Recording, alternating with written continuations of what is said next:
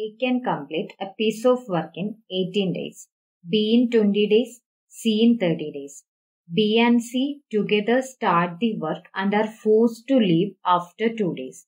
The time taken by A alone to complete the remaining workers. Here, A can complete a work in 18 days and B can complete the same work in 20 days and C can complete the same work in 30 days. Now all are doing the same job. So take the LCM of 18, 20 and 30. Here LCM is 180.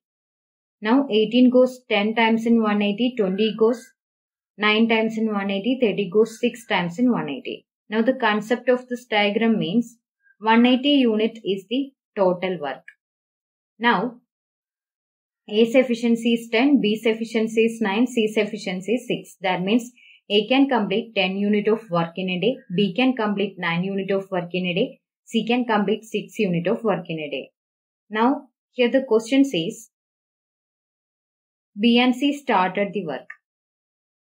B and C started the work and they worked together for 2 days. Then after B and C leave and the remaining work is completed by A. So we need to find out in how many days A completed the remaining work.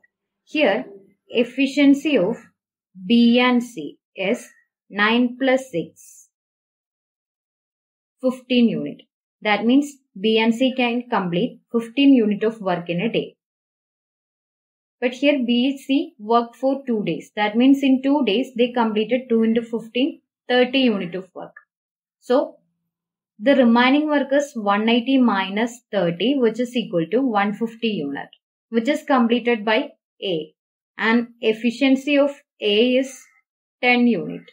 That means the remaining work 150 unit is completed by A in 150 by 10 which is equal to 15 days. So option C is your answer. Here remaining work is 180 minus 30 which is equal to 150 unit and time taken by A to complete the remaining work is 150 by remaining work by efficiency of A is 10 unit. So 15 days.